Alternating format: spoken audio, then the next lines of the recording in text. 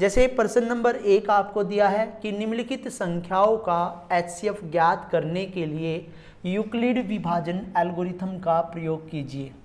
Euclid विभाजन algorithm का प्रयोग करके आपने क्या निकालना है? एचसीएफ निकालना है। तो सबसे पहले आपको मैं यूक्लिड विभाजन एल्गोरिथम के बारे में बताऊँगा। देखिए यूक्लिड विभाजन एल्गोरिथम क्या होता है? यूक्लिड विभाजन एल्गोरिथम। देखिए, ये होता है a equal b q plus में आर और यहाँ पे ए का मतलब क्या होता है? ए का मतलब होता है भाज्य बी का मतलब होता है भाजक क्यू का मतलब होता है भागफल, और आर का मतलब होता है शेषफल। और आज हम आपको यूक्लिड विभाजन एल्गोरिथम की मदद से एचसीएफ करना सिखाएँगे। ये जो मैंने आपको बताया है, बहुत ही महत्वपूर्ण आपके लिए है कि यूक्लिड विभाजन एल्गोरिथम को हम कैसे प्रदर्शित करते हैं a equal b q plus r के। यहाँ पे मैंने आपको बता दिया ए इक्वल क्या है? भाज्य है। बी इक्वल क्या है? भाजक है। क्यू इक्वल क्या है? भागफल है। और आर इक्वल जो है वो है शेषफल।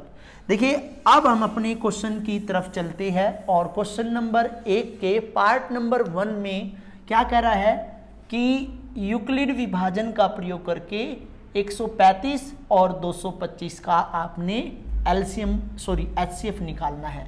देखिए 135 को बाहर लेंगे और 225 को अंदर लेंगे। और यहाँ पे देखिए 135 को डिवाइड देखिए 135 से डिवाइड करना है 225 को, यानी कि भाग करना है 225 को। किससे? 135 से देखिए नॉर्मली हम भाग करेंगे और देखिए 135 का पारा यदि हम गिनते हैं तो एक पे, और 135 दूनी होता है 270 कैसे भैया? 135 गुणा में एक बराबर होता है 135 135 गुणा में दो जो होता है वो होता है 270 अब आप ध्यान से देखिए, ये 225 जो है, बहुत ही छोटा है। 270 से तो इसलिए ये एक पे जाएगा। तो हम यहाँ पे लिखेंगे 135 से कम 135 यहाँ पे ज़ीरो, बारह में से, देखिए, दो में से तो जा नहीं सकता तीन तो इसलिए हम यहाँ से एक हासिल लेंगे। तो ये होगा बारह बारह में से तीन गए नौ। और यहाँ पे एक एक में से एक गई ज़ीरो। अब यहाँ पे देखिए कोई ऊपर स्टेटमेंट बची, ऊपर कोई भी रकम नहीं बची हुई है, इसलिए हम क्या करेंगे, इस 135 को अंदर डाल लेंगे।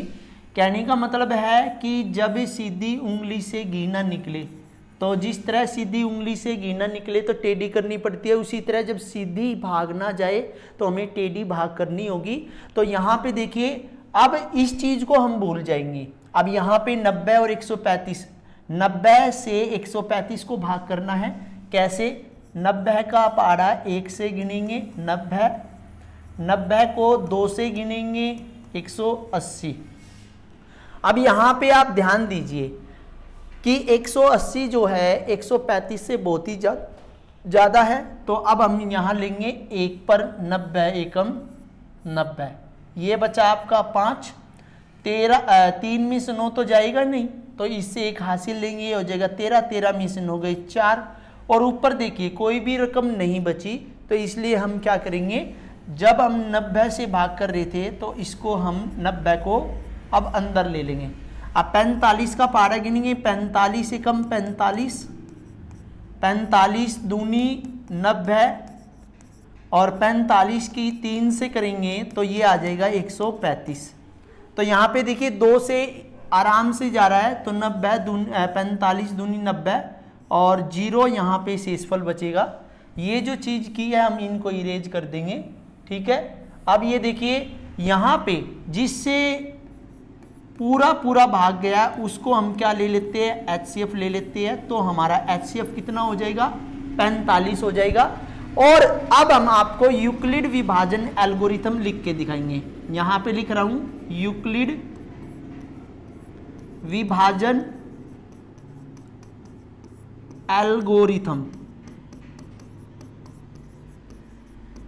ये हमें लिखना है a equal b q plus में आर देखिए ए यहाँ पे सबसे पहले है 225 यानी कि किसको भाग दिया था? पहले हमने 225 फिर हमने दिया था 135 को, फिर हमने दिया 90 को। तो वन बाय वन करके हम लिखेंगे, देखिए 135 की गुणा हम एक से करेंगे। 135 गुणा में एक, शेषफल कितना बचा था भैया? नब्बे।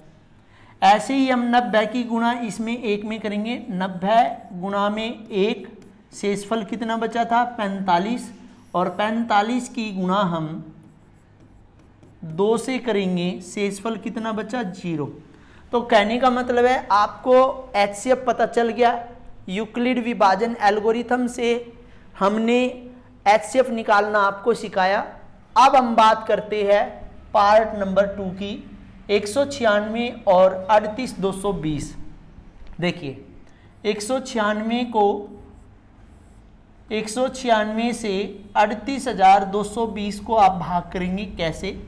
देखिए, एक सौ छियानवे एक रकम ली नहीं जा रहा। दूसरी ली, अड़तीस अड़तीस भी एक सौ छियानवे से छोटा है तो तीसरी हम लेंगे तीन सौ बयासी, एक सौ छियानवे से बड़ा है। तो एक सौ छियानवे का हम पारा यहाँ पे लिखेंगे, एक सौ छियानवे को एक से करेंगे तो एक सौ छियानवे आएगा। और एक सौ छियानवे को हम दो से करेंगे तो ये आ जाएगा आपका तीन सौ बानवे। ठीक है? और एक सौ छियानवे को हम तीन से करेंगे तो ये आ जाएगा आपका पाँच सौ अट्ठासी अब यहाँ पे देखिए तीन सौ बयासी से तो ये बड़ा है तो हम क्या लेंगे? एक पे ही लेंगे, एक सौ छियानवे एकम एक सौ छियानवे। बारह, देखिए दो में से छः तो जाएगा, नहीं तो आगे वाले से हासिल तो बारह बारह में से छः गए छः। यहाँ बच्चा सात सात में से नौ जाएगा, नहीं, अगले वाले से हासिल लेगा सत्रह सत्रह में से नौ गए आठ। यहाँ पे दो बच्चा दो में से एक गया, एक और यहाँ पे दो नीचे उतार लेंगे। अभी हम सीधी ही भाग करेंगे क्योंकि ऊपर रकम दे रखी है। तो एक सौ छियानवे का हम पारा काउंट करेंगे। अब एक सौ छियानवे को हम चार से करेंगे। तो ये आपका आ जाएगा भैया सात सौ चौरासी। और यहाँ पे हम एक सौ छियानवे को पाँच से करेंगे, ये आ जाएगा नौ सौ अस्सी। और एक सौ छियानवे को हम छः से करेंगे, एक सौ छियानवे को छः से करेंगे तो ये आ जाएगा ग्यारह सौ छिहत्तर। एक सौ छियानवे को हम सात से करेंगे, तेरह सौ बहत्तर। और एक सौ छियानवे को हम आठ से करेंगे, पंद्रह सौ अड़सठ। और एक सौ छियानवे को हम नौ से करेंगे सत्रह सौ चौंसठ और एक सौ छियानवे को दस से करेंगे तो उन्नीस सौ साठ। अब आप ध्यान दीजिए, ये 1960 जो है बहुत बड़ा है तो कितने पे जाएगा ये? नौ पे जाएगा। कितना आ गया? सत्रह आ गया भैया। अब देखिए 12 में से, देखिए, दो में से चार तो जाएगा ही नहीं। हम आगे वाले से हासिल ले लेंगे। 12 12 में से चार गए आठ। यहाँ पे बचा आपका कितना? यहाँ पे बचा पाँच।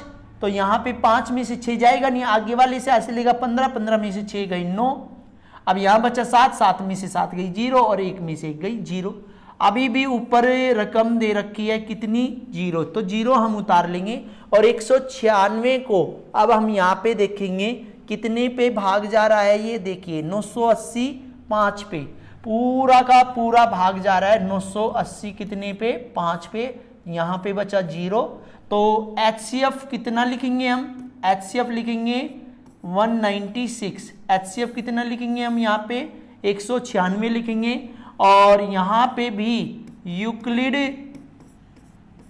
विभाजन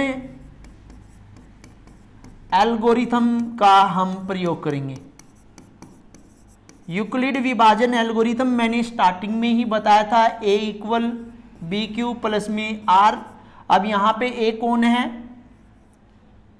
जिसको हमने भाग दिया है, कैसे दिया है? एक सौ छियानवे की गुना एक सौ पंचानवे से की। और शेषफल कितना आया भैया? ज़ीरो। हमने यूक्लिड विभाजन एल्गोरिथम भी लिख के दिखाया। इसके बाद हम बात करते हैं पार्ट नंबर थर्ड की, ये कह रहा है 255 एक बात ध्यान रखिए, यदि आपको परिमेय संख्या के रूप में दिया है तो नीचे वाला हमेशा बाहर होगा और ऊपर वाला अंदर होगा, लेकिन जैसे आठ सौ सड़सठ और 255 दे रखा है तो 255 बाहर होगा, छोटा होने की वजह से आठ अब यहाँ पे देखिए 255 का हम पारे यहाँ से गिनेंगे 255 की गुणा एक से करेंगे 255 255 की गुणा हम दो में करेंगे, ये आएगा 510 255 की तीन से करेंगे, ये आएगा सात सौ पैंसठ। दो सौ पचपन की हम चार से करेंगे, ये आएगा एक हज़ार बीस। अब आप यहाँ पे देखिए, बड़े ध्यान से देखिए, ये आठ सौ सड़सठ जो है, एक हज़ार बीस से छोटा है। तो इसलिए हम तीन नंबर पे डालेंगे इसको। तीन नंबर पे सात सौ पैंसठ। यहाँ पे बचा सात में से पाँच गया दो छः में से छः गई ज़ीरो, आठ में से सात गया एक। तो अब यहाँ पे देखिए, इसकी ज़रूरत नहीं है तो इसको इरेज कर देंगे। अब हमने ऊपर कोई रकम नहीं बची तो 255 को अंदर डालना पड़ेगा। अब 102 का पारा गिनेंगे। 102 का पारा एक से गिनेंगे। 102 देखिए ध्यान दीजिए, जैसे हमने पहले वाला कराया, वैसे ही हम तीसरे वाला करा रहे हैं। 102 को हम दो से करेंगे 204 आ जाएगा। 102 को हम तीन से करेंगे तो ये आ जाएगा 306 तो 306 तो बड़ा हो गया तो दो से जाएगा 102 एकम 102 और 102 दूनी 204 204 पे जाएगा। पाँच में से चार गया एक, और यहाँ पे आपका पाँच। ऊपर कोई रकम नहीं है तो इसलिए हम क्या करेंगे? 102 को ही अंदर लेंगे। अब देखिए, इक्यावन क्या हम, इक्यावन की टेबल यानी कि इक्यावन का पारा लिखेंगे। इक्यावन एकम इक्यावन। इक्यावन की दो से करेंगे। तो ये आया 102 और इक्यावन की हम तीन से करेंगे। ये आएगा आपका एक सौ तिरपन। तो वो बड़ा हो जाएगा तो 102 कितने पे जा रहा है? दो पे जा रहा है तो हम 102 यहाँ पे ज़ीरो बचा तो यहाँ लिखना है यूक्लिड विभाजन एल्गोरिथम से। ये होता है a equal b q plus में आर ए की जो वैल्यू है, यहाँ पे देखिए आठ सौ सड़सठ दो सौ पचपन गुणा में तीन। देखो, ऐसे ही तो किया इसने। तीन और शेषफल कितना बचा? 102 बचा। दूसरी बारी में 255 हमने डाला। कैसे भैया? 102 गुणा में दो। शेषफल कितना आया? इक्यावन। और तीसरी बार हमने 102 को डाला। तो इक्यावन गुणा में दो। प्लस में शेषफल ज़ीरो। तो यहाँ पे हम एचसीएफ आपको बता दें एच सी यहाँ पे होगा आपका इक्यावन। तो ध्यान दीजिए, हमने यूक्लिड विभाजन एल्गोरिथम का प्रयोग करके आपको प्रश्न नंबर एक करवाया है। इसको बड़े ध्यान से आपने वीडियो में देखना है। जो भी स्टूडेंट हमारे चैनल पर नए हैं, वो हमारे चैनल को सब्सक्राइब कर ले।